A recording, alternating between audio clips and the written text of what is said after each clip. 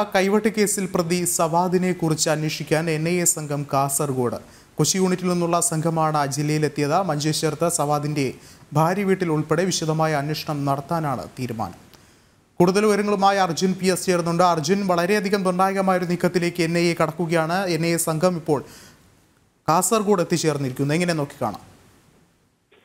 തീർച്ചയായും വിഷ്ണു നേരത്തെ തന്നെ നമ്മൾ സൂചിപ്പിച്ചതാണ് ഇത്തരത്തിൽ വലിയ രീതിയിലുള്ള ഒരു ബന്ധം ഈ ഭാര്യ വീട്ടുകാർക്ക് ഈ ഷാജഹാനെ നേരത്തെ അറിയുമോ അല്ലെ ക്ഷമിക്കണം സവാദിനെ നേരത്തെ അറിയുമോ എന്നുള്ളതിലൊരു സ്ഥിരീകരണത്തിന് വേണ്ടിയാണ് എൻ ഐ എ ഇന്ന് കാസർഗോഡേക്ക് എത്തുന്നത്. അല്പസദ്യയിലേക്ക് കാസർഗോഡും അതുപോലെ തന്നെ ഇവരുടെ വീടായ മഞ്ചേശ്വരത്തും എത്തുമെന്നാണ് നമുക്ക് മനസ്സിലാക്കാൻ കഴിയുന്നത്. കഴിഞ്ഞ ദിവസം നമുക്ക് കിട്ടിയ വിവരമനുസരിച്ച് ഇവരുടെ ഭാര്യ പിതാവിനെ ഈ ഭാര്യ പിതാവിനെയും സവാദിനെയും തമ്മിൽ ബന്ധിപ്പിച്ചു കൊടുത്തത് അവിടെയുള്ള ഒരു എസ് ഡി പി ഐ നേതാവാണെന്നാണ് നമുക്ക് മനസ്സിലാക്കാൻ കഴിയുന്നത്.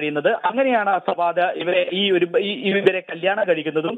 അതിനുശേഷം കല്യാണം കഴിച്ചതിന് ശേഷം പിന്നീട് നേരെ കണ്ണൂരേക്ക് വരികയായിരുന്നു. കണ്ണൂര് മന്ന എന്ന് പറയുന്ന സ്ഥലത്ത് ആയിരുന്നു ആദ്യം താമസിച്ചിരുന്നത്. പിന്നീട് അത് മാറി ഇരുട്ടിയിലേക്ക് താമസമാക്കി. ഈ മന്നയിൽ അഞ്ചു വർഷത്തോളം ഇയാൾ ഇവിടെ താമസിച്ചിരുന്നു എന്നാണ് നമുക്ക് മനസ്സിലാക്കാൻ കഴിയുന്നത്. അതായത് അഞ്ചു വർഷമായിട്ട് ഇയാൾ ഇവിടെ താമസിക്കുന്നതായിട്ടോ അല്ലെങ്കിൽ ഇയാളെ കുറിച്ചുള്ള ഒരു വിവരമോ കേരള പോലീസിനോ കേരള ഇന്റലിജൻസിനോ ലഭിച്ചില്ല എന്ന് പറയുന്നത് തന്നെ വലിയ നാണക്കേട് തന്നെയാണ്. അതിനുശേഷമാണ് പിന്നെ ഇയാൾ ഇരിട്ടിയിലേക്ക് എത്തിയത് ഇരിട്ടിയിൽ എത്തിയപ്പോൾ ഇവിടെ ആ വീട് നൽകുന്നതിലും അതുപോലെ തന്നെ ഇയാളെ സഹായിക്കുന്നതിലും എസ് ഡി പി ഐ പ്രവർത്തകരുണ്ടെന്നാണ് നമുക്ക് മനസ്സിലാക്കാൻ കഴിയുന്നത്. അതായത് ഈ വീട് നൽകിയ ആൾ എന്ന് പറയുന്നത് ഒരു S D S D P I പ്രവർത്തകനാണ്. ഇയാളുടെ സഹോദരൻ ഒരു കൊലക്കേസിൽ പെട്ടുകൊണ്ട് ജയിലിൽ കഴിയുകയാണെന്ന് നമുക്ക് മനസ്സിലാക്കാൻ കഴിയുന്നു.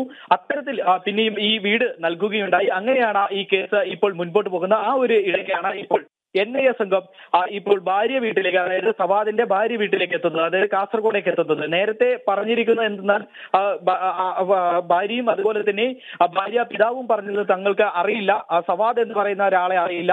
അവർ പറഞ്ഞത് ഷാജഹാൻ എന്ന പേരിലാണ് ഞങ്ങൾ അറിയ അറിയുന്നത് എന്നാണ് അവർ പറഞ്ഞിരുന്നത്. പക്ഷെ ഇത് എൻ ഐ എ വിശ്വസിച്ചിരുന്നില്ല. നമ്മളും കഴിഞ്ഞ ദിവസം തന്നെ പറഞ്ഞിരുന്നു ഈ ഭാര്യ പിതാവിനെയും വ്യക്തമാണ്. എൻ ഐ എ സംഘം കാസർഗോഡ് എത്തിയിരിക്കുകയാണ്. കൈവട്ടി കേസിലെ പ്രതിയുമായി ബന്ധപ്പെട്ട കൂടുതൽ അന്വേഷണങ്ങളിലേക്കാണ് ഇപ്പോൾ എൻ സംഘം കടക്കുന്നത്. അർജുനാണ് വിശദമായ റിപ്പോർട്ടുകൾ പങ്കുവച്ചത്.